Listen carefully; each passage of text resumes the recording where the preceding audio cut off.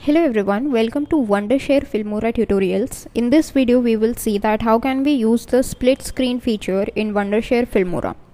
So this split screen feature is actually for the videos that means uh, that the videos that we'll be exporting will be having this feature. So what is a split screen feature? The name itself is self-explanatory. Here the screen or the video area is splitted or divided into two three or more parts wherein you can play multiple clips at the same time or one clip after the another just for the comparison purposes okay?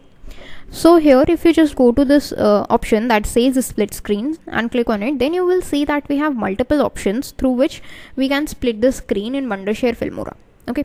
So i have two videos that i want to play side by side uh, like this and uh, this effect I want to apply okay? So I have dragged it onto the timeline. Let's just see. Okay. So these are the two videos video 1 and video 2 that I want to apply. I just drag video 1 uh,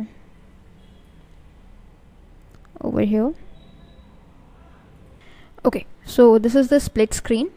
If I just click on advanced tab then it will open a dialog box for me let's just wait for a few seconds. Hmm. now here are two um, medias media 0 and media 1 okay?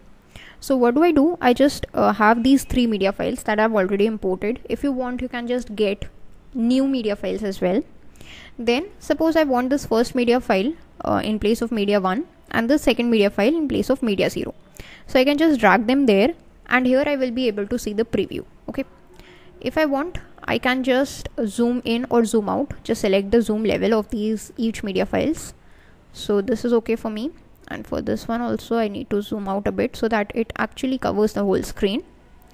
I can adjust the volume. I can adjust the um, transformation or basic video effects or even I can just delete these files. Okay.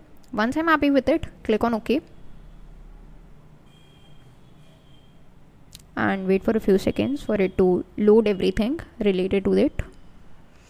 Then if I just play this then this is how it is playing. These two uh, media files in a split screen mode. That's it for this video. Thanks for watching